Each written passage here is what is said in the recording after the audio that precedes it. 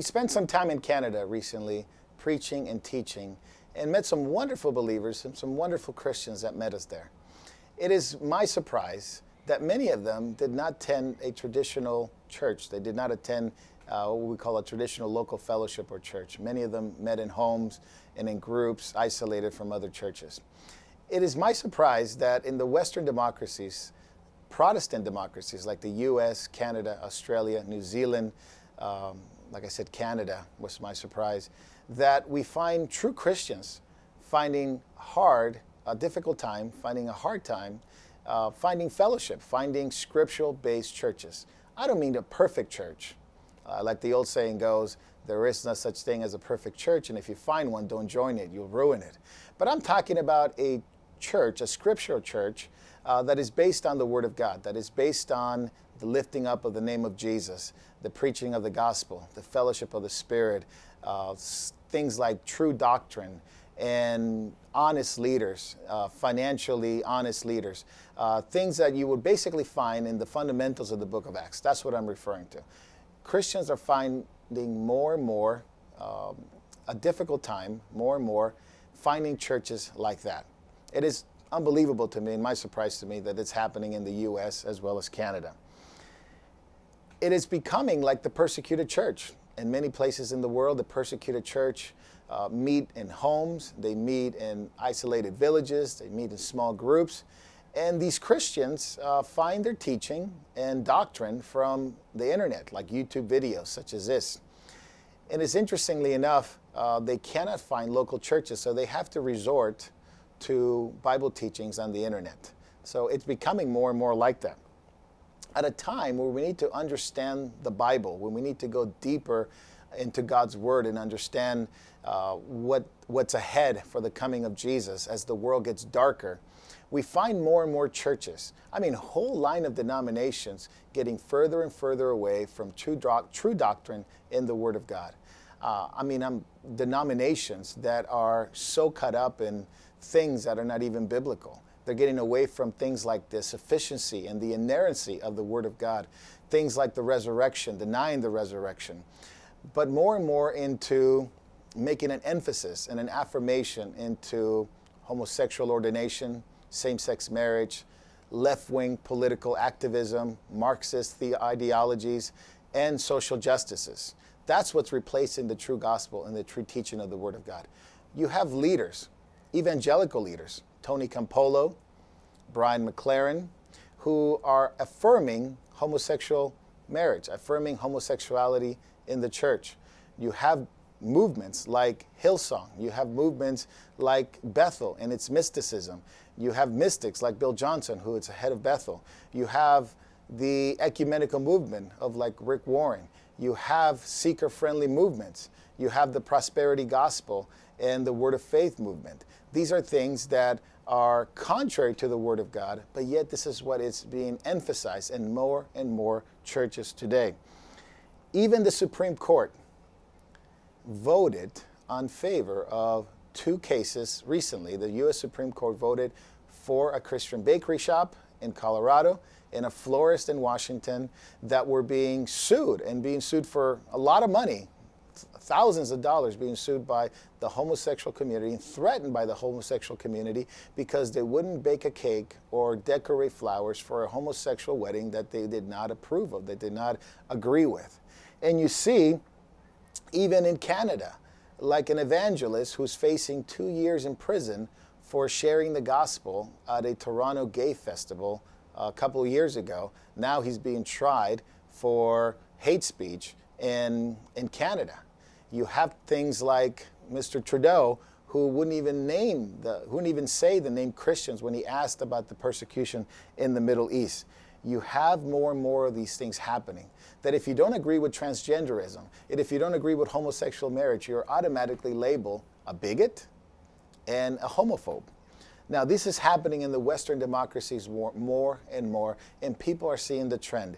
Even professor uh, in, in uh, professor in Toronto, Jordan Peterson, even warned Christians recently about the freedoms, the religious freedoms that are eroding, especially in Canada. Governments and laws are being made more and more against the people of faith. So, what are Christians to do when you really can't find a local church, a scriptural based church, a church that will uphold Christian values and the biblical doctrine of the scriptures, and the governments of the world and laws around the world, especially in the Western world, are coming up against the people of faith? I, I live in, in a liberal state in the United States, many parts of Canada. They're making laws more and more against people of faith. And since you can't find a decent church, it seems like the spirit of Antichrist is already at work in media, in academic institutions, in society, in education, even in the church. It seems like the spirit of Antichrist is already at work, like the scripture says, and the kingdom of Antichrist is already looming. However, the Holy Spirit is preparing his people for the return of Jesus. He's preparing God's people at a time of preparation and strengthening. The book of Revelation talks about strengthening the things that remain. Believers are meeting in homes. They're having fellowship with one another. They're meeting together. They're having that fellowship that it's needed, like in the book of Acts. That is a wonderful thing. One concern that I have with groups like that, of course, would be that they simply gather together uh, on the basis of how they've been burnt by bad churches. Basically, they find uh, a refuge place and they become sort of refugees in a sense of the basis of fellowship is how they were burned by bad churches and their bad experiences. That should not be the basis of fellowship. The basis of fellowship should be the truth, the Word of God, the gospel, Jesus, evangelism, the unity and the fellowship of the Spirit that Paul talks about, calling upon the name of the Lord together from a pure heart, as Paul told Timothy. You find true Christianity in the world where churches are being persecuted, where Christians are actually being persecuted, like in the third world and things like that. Persecution is something that Jesus said comes from the devil. Doesn't come from God, but he allows it to prove who is for him, who's really living for Jesus, and who's really committed to him and have no hope and confidence in this world. The world uh, have no confidence in, in the things of this world, I should say this is, these are the Christians that will be ready for the rapture of the church, for the return of Jesus. Too many things are happening in our countries. Too many things are happening in the Western world that it leads us to understand that persecution is coming upon the Western democracies. The acceptance of homosexuality, the affirmation of homosexuality, not only by society, by, but by the church. By the church is affirming homosexuality, homosexual ordination, the killing of the unborn by the millions, and the persecution of those who oppose it. Those who oppose abortion, those who oppose homosexual marriage are being persecuted in society, and even the church are affirming it. God's judgment is coming, but God will save his people from the wrath to come. But I'm talking to Christians. You need to be in fellowship. Hebrews 10:25 Forsake not the assembling of one another. Forsake not the fellowship of one another more and more you should do it as you see the day approaching. That day is, of course, referring to the day of the Lord. The day of the Lord, the day of his wrath for the world and for the kingdom of Antichrist, and the day of Christ for the church, the rapture and the resurrection of the people of God. You need to be in fellowship. If we can't stand together, we won't be able to stand alone. The solution to bad churches is not no church at all. That's not the solution. The solution to bad churches is fellowship in, this, in, in the Word of God, the truth of the Word of God, scriptural based fellowship, coming together, strengthening one another, sharing the gospel together, preaching the gospel of the kingdom, as Jesus said to do, meaning sharing the things that are at hand today with people that need to know that the return of Jesus is near. I don't know which church people should go the Holy Spirit will lead people to the right church. What I do know is what God says in His Word forsake not the fellowship of one another.